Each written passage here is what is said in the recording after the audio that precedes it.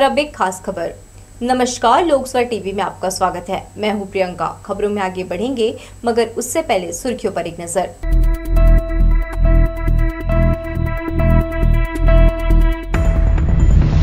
Jammu Tawi express का ठहराव बिलासपुर की बजाय उसलापुर स्टेशन में समय कम होने से यात्रियों को ट्रेन चढ़ने में हो रही परेशानी।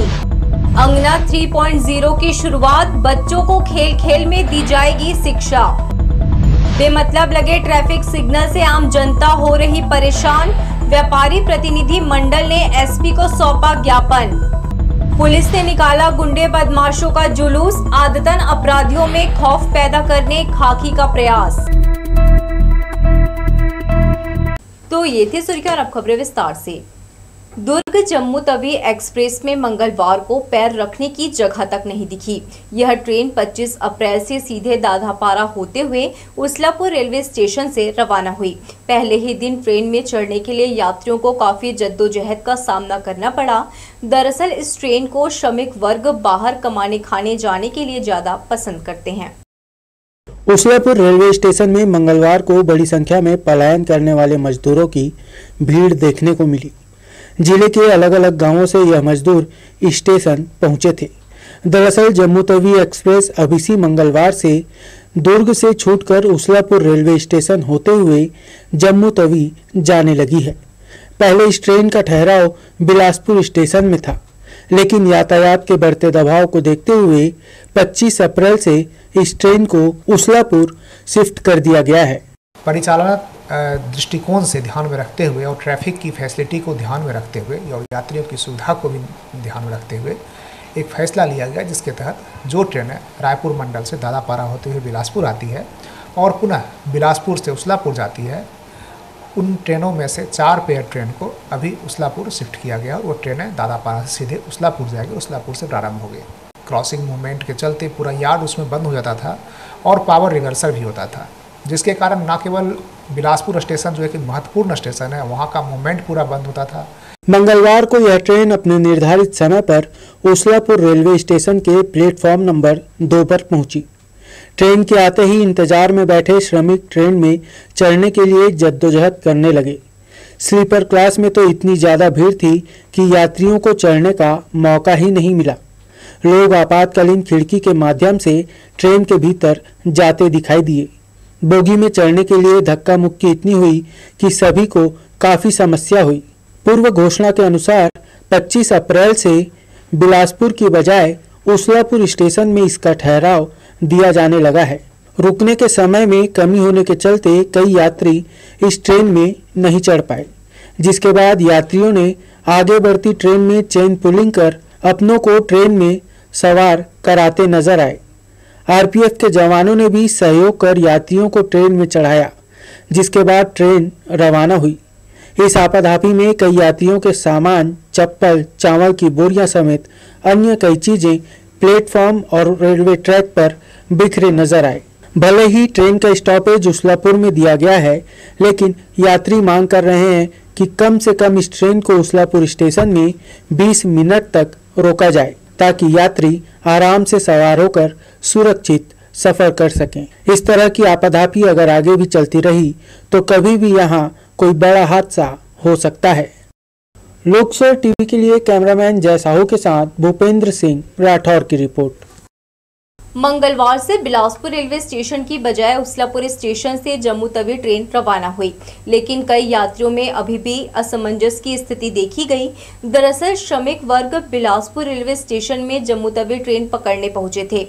तब उन्हें पता चला कि यह ट्रेन उसलापुर से रवाना होगी। तो यात्री आपाधापी में यहाँ से अन्य साधनों से उसलापुर पहुँचे। कुछ यात्रियों ने बताया कि उसलापुर स्टेशन में ट्रेनों के स्टॉपेज का समय कम होने की वजह से वे ट्रेन पकड़ पाए। इसके चलते वह अब बिलासपुर स्टेशन से ही छत्तीसगढ़ एक्सप्रेस से अपने गंतव्य तक सफ़र करेंगे। उसलापुर रेलवे स्टेशन में अगले माह से एक हवलदार और दो सिपाही तैनात हो जाएँगे। सुरक्षा की यह व्यवस्था चार ट्रेनों के ठहराव को देखते हुए की गई है। उसलापुर स्टेशन में ट्रेनों का दबाव बढ़ रहा है, लिहाजा यात्रियों की संख्या भी बढ़ेगी। इस स्थिति में आपराधिक गतिविधियों की आशंका से इनकार नहीं किया जा सकता। वर्तमान में यहाँ आरपीएफ का आउटपोस्ट ही है। जीआरपी की ना तो चौकी है, ना ही स्टाफ की नियमित ड्यूटी लगाई जाती है। GRP SP J R Thakur ने बताया कि उसलापुर रेलवे स्टेशन में अगले माह से एक हवलदार और दो सिपाही की ड्यूटी नियमित लगाई जाएगी। उन्होंने बताया जैसे ही ट्रेनिंग से स्टाफ आते हैं यहाँ अस्थायी तौर पर जवानों की तैनाती की जाएगी। लड़के ट्रेनिंग में गए हैं। हाँ हाँ। आध महीना में ट्रेनिंग से आएँगे उसके बाद फिर बल पर्याप्त होगा फिर लगाना शुरू कर देंगे। ठीक है। माताओं के सहयोग से बच्चों का बौद्धिक विकास करने अंगनामा शिक्षा 3.0 कार्यक्रम इस सत्र से शुरू किया गया है। खेल खेल में संख्या, रंगों की पहचान कराना इसका लक्ष्य है, जिसमें स्कूल में प्रवेश करते ही बच्चा आसानी से पढ़ लिख सके। पढ़ई तिहार के अंतर्गत शासकीय प्राथमिक शाला तिफरा में अंगना माँ शिक्षा 3.0 कार्यक्रम का आयोजन किया गया। छत्तीसगढ़ में माताओं को जोड़कर बच्चों को घर पर पढ़ाई सीखने में सहयोग देने के लिए नए चरण की शुरुआत की गई। इसके लिए शिक्षिकाओं ने यहाँ माताओं को बताया कि वे किस तरह से घरेलू सामान, सब्ज़ी के माध्यम से बच्चे में प्रारंभिक शिक्षा का बीज बो सकती है। यह तरीका खेल खेल में बच्चे को रोचक लगेगा, इससे बौद्धिक विकास में मदद मिलेगी। अंगना में अपना शिक्षा त्यौहार तो उसके मतलब माध्यम से हम बच्चों को हर चीज़ सिखा सकते हैं। सब्ज़ी के माध्यम से चावल दाल के कलर के माध्यम से। इससे हम शिक्षा देने के कारण मतलब कि हम स्कूल में दाखिल करेंगे तो बच्चे भी हमारे आगे बढ़ेंगे और हमारे शिक्षक हैं वो भी उनकी सरलता भी होगी वो भी आगे कर सकते हैं। अब हमारा सहयोग ज़्यादा रहेगा फिर बच्चों के लिए। ये खेल खेल में होगा? हाँ ये खेल खेल में भी हो सकता है और खेल के बच्चे पढ़ भी सकते हैं। जैसे हम कहे बेटा आलू लेके आओ। टमाटर लेके आओ तो उसका हम कलर बता सकते हैं। बेटा, लाल कलर का टमाटर होता है, तुम टमाटर लेके आओ। मिर्ची हो गया वो हरे कलर की मिर्ची होती है तब हरे कलर की मिर्ची लेके आओ। एक जगह बैठाते हैं अच्छे से पढ़ाते हैं बेटा ये टमाटर लेके आओ आलू लेके आओ। जैसे भिंडी है उसको कैसे लाना है? भिंडी को पाँच गिनो दस गिनो उसका कलर बताते हैं कि हरा है कि लाल है टमाटर का कलर बताते हैं। सामान है जिसके माध्यम से हम बच्चों को सब्ज़ी के अलावा जी जी हम बता सकते हैं कि ये फ्रिज है बेटा फ्रिज कैसा है उसको कैसे खोलना है कैसे बंद करना है उसमें से गैस ना निकले और इसको टीवी को कैसे ऑन करना है कैसे बंद करना है ये सब हम बता सकते हैं। कार्यक्रम में शिक्षा विभाग की Sunita Pandey, Kranti Sahu Tifra higher secondary school की प्रिंसिपल मृदुला त्रिपाठी, व्याख्याता अनिता राज, संकुल समन्वयक सुनील पांडे, रंजीत बनर्जी शामिल हुए। आयोजन में माताओं को आमंत्रित किया गया। कार्यक्रम की सफलता के लिए आंगनबाड़ी में पढ़ने वाले उनके बच्चों संग प्रशिक्षण दिया, जिसे घर पर रोचक ढंग से दोहराने और इसमें नए प्रयोग करने की सलाह शिक्षकों ने दी। बच्चों को माताएँ बोलेगी कि यानी कि कितना है गिनो बेटा? आलू कितना है? इसका कलर क्या है? टमाटर कौन से कलर का होता है? ये सब सिखाना है। उसका कारण ये है एक्चुअली मैं आपको बता दूँ, अभी पाँच से छः साल के जो बच्चे हैं, जो आंगनबाड़ी में हैं, उनको ला के हमको यहाँ पर एडमिशन कराना रहता है। तो वो बच्चे अनभिज्ञ रहते हैं। और अनभिज्ञ रहने के कारण टीचर कुछ पढ़ाते हैं तो उनको समझ में नहीं आता है। तो अभी जो आपका एक डेढ़ महीना छुट्टी है और इस कार्यक्रम को सरकार करा रही बहुत अच्छी योजना है। राज्य में दो वर्षों में इस कार्यक्रम से तीन लाख से अधिक माताएँ सक्रिय रूप से जुड़कर बच्चों की शिक्षा में महत्वपूर्ण योगदान दे रही है। अगले चरण 3.0 में कोशिश की जाएगी कि बच्चे रंगों, संख्या का घर से ज्ञान सीखकर आगामी शिक्षा सत्र से ज़्यादा से ज़्यादा स्कूलों में निर्धारित और अपेक्षित स्तर तक पहुँच सके। यह कार्यक्रम ज़िले के सभी शासकीय प्राथमिक शालाओं में एक साथ चलाया गया। कैमरामैन सतीश साहू के साथ दिलीप जगवानी लोकसो टीवी बिलासपुर। कलेक्टर सौरभ कुमार ने मंगलवार को मंथन सभा कक्ष में आगामी विधानसभा को लेकर तैयारियों के मद्देनजर निर्वाचन अधिकारियों से आवश्यक जानकारियाँ ली। बैठक में उन्होंने मुख्यमंत्री भूपेश बघेल के ड्रीम प्रोजेक्ट की प्रगति के बारे में एक एक अफसरों से जानकारी हासिल की। उन्होंने साफ़ कहा, जो अफसर समय पर कार्य पूरा नहीं करेंगे, उनके खिलाफ कार्यवाही की जाएगी। मुख्यमंत्री के ड्रीम प्रोजेक्ट में नरवा, गरवा, घुरवा, भूमिहीन आदिवासियों को पट्टा देना, तहसील कार्यालयों में सीमांकन, फौती सहित अन्य लंबित प्रकरणों का निराकरण किया जाए। खास तौर पर उन्होंने अधिकारियों को हिदायत दी कि फरियादी के आवेदन पर त्वरित कार्यवाही सुनिश्चित किया जाए। इस मौके पर बड़ी संख्या में विभाग प्रमुख मौजूद रहे। कई योजनाएँ हैं जो शासन की महत्वपूर्ण योजनाएँ हैं, जैसे बेरोजगारी भत्ते का स्वीकृति होना, जैसे गाँव में जो सर्वे चल रहा है, आज व्यक्तियों को आवास हेतु जैसे जो भूमिहीन शहर, नगर पंचायतों में जो भूमिहीन कृषक हैं, उनको उनको एक मई से राशि जारी होनी है तो ये तीनों योजनाएँ 30 अप्रैल तक इनके हितग्राही फाइनलाइज हो जाए, इनके स्वीकृति आदेश निकल जाए, इस संबंध में निर्देश दिए हैं।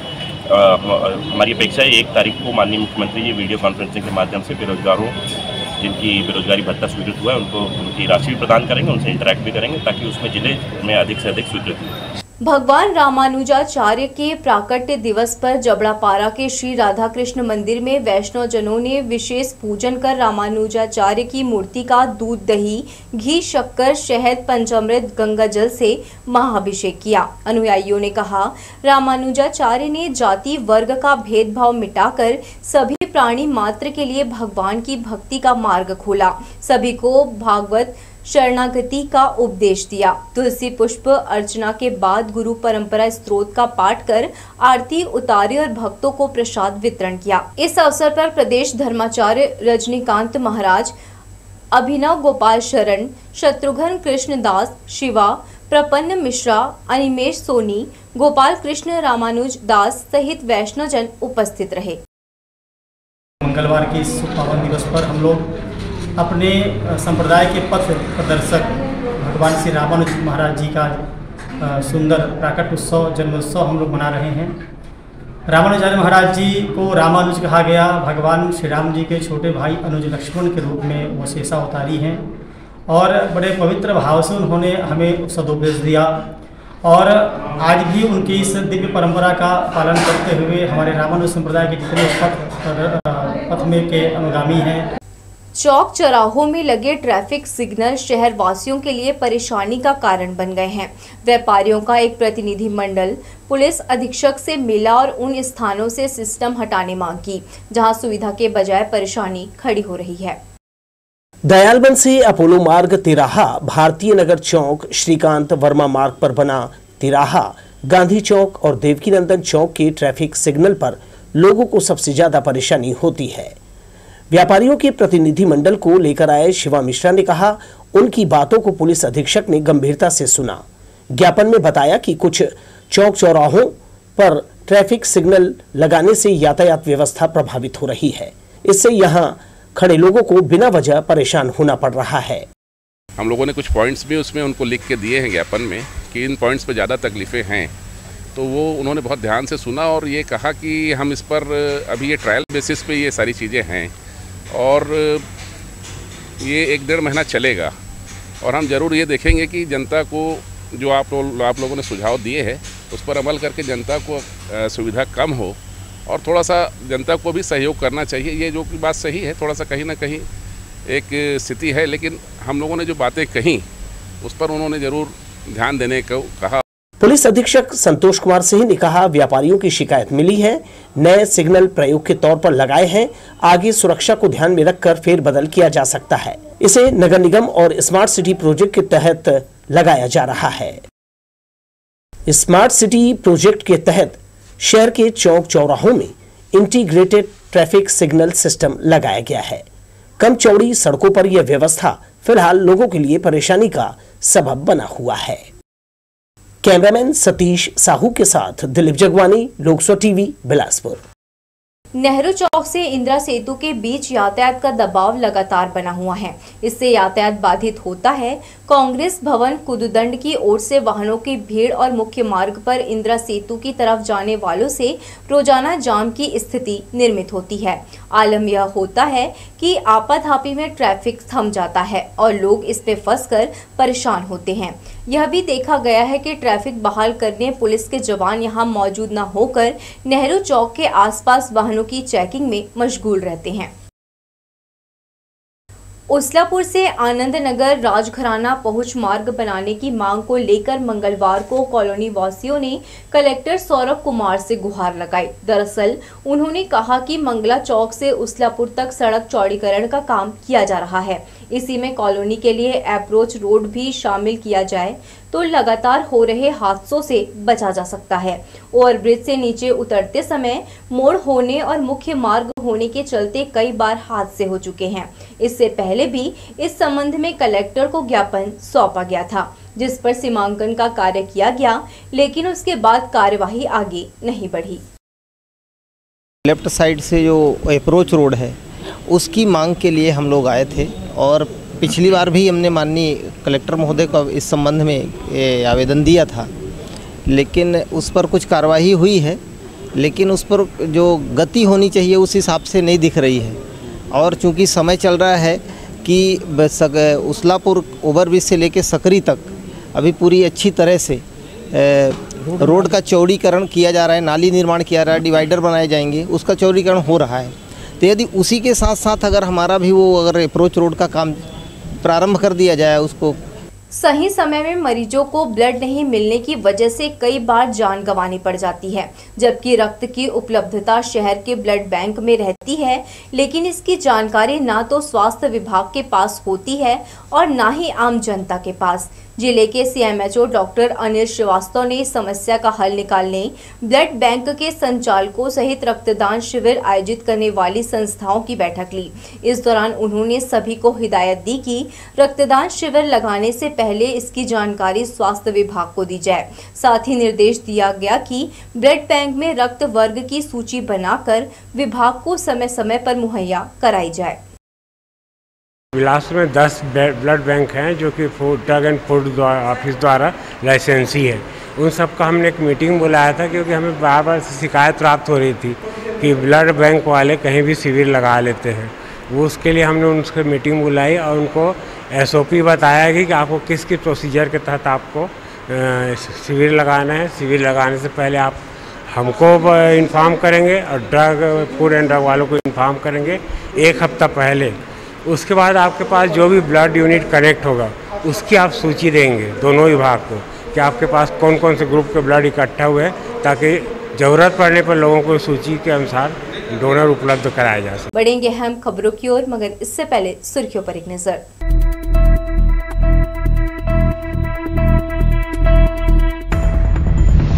जम्मू तवी एक्सप्रेस का ठहराव बिलासपुर की बजाय उसलापुर स्टेशन में समय कम होने से यात्रियों को ट्रेन चढ़ने में हो रही परेशानी।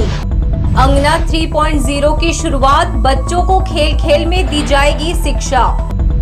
बेमतलब लगे ट्रैफ़िक सिग्नल से आम जनता हो रही परेशान। व्यापारी प्रतिनिधि मंडल ने एसपी को सौंपा ज्ञापन। पुलिस ने निकाला गुंडे बदमाशों का जुलूस, आदतन अपराधियों में खौफ पैदा करने खाकी का प्रयास।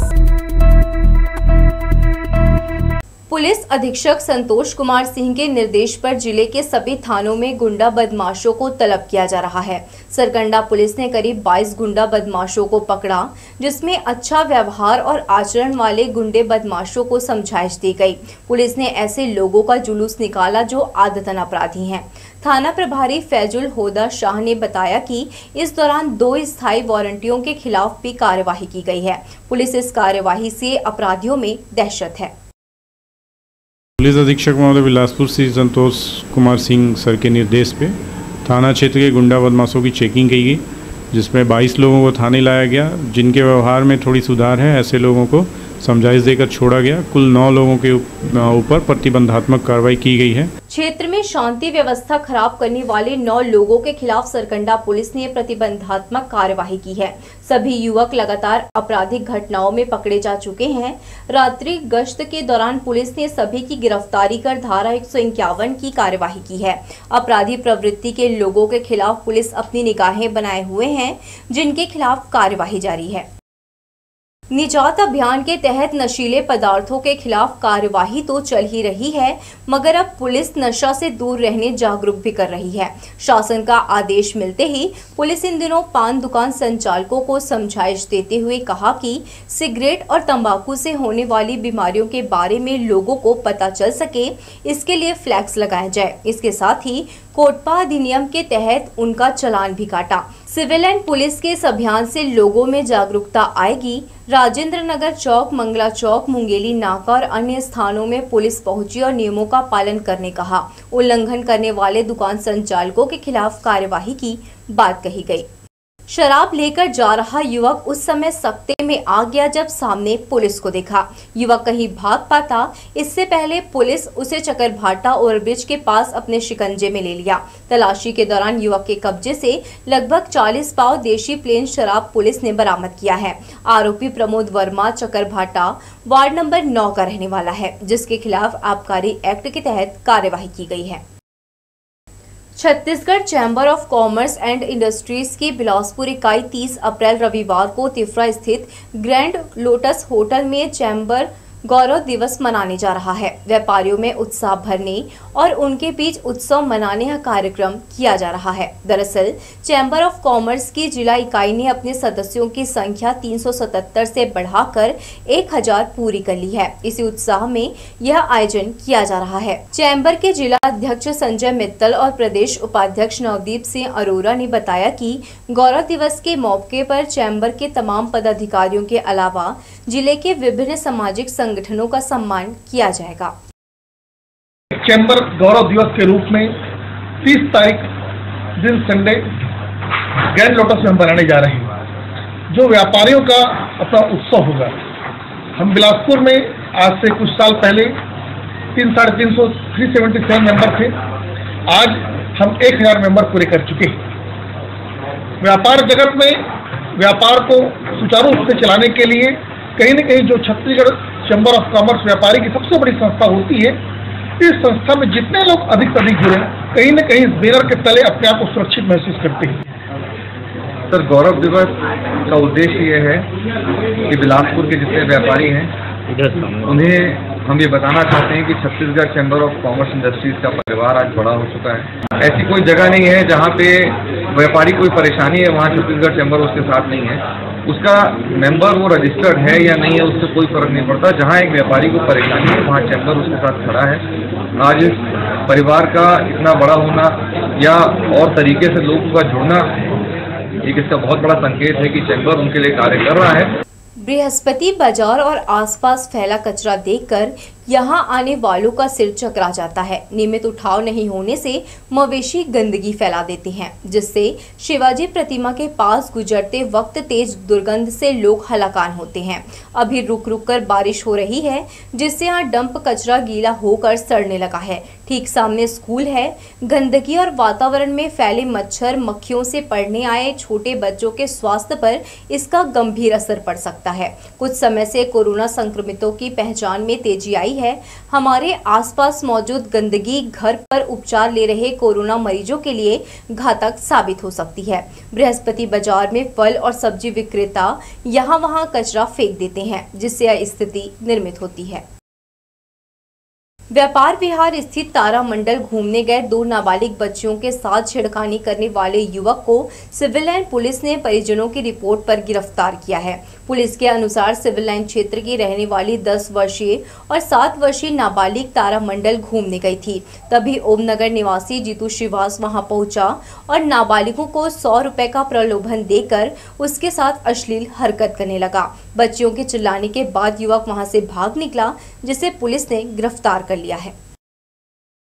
तो ये थी हमारी लोकसभा टीवी की तमाम खबरें। अगले बुलेटिन में आपसे फिर होगी मुलाकात। तब तक के लिए पूरी टीम के साथ प्रियंका को दीजिए इजाज़त। नमस्कार।